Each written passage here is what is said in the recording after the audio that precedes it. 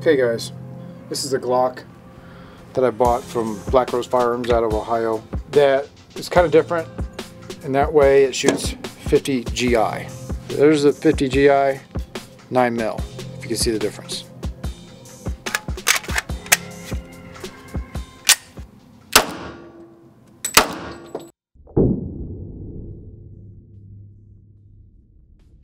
It's not bad.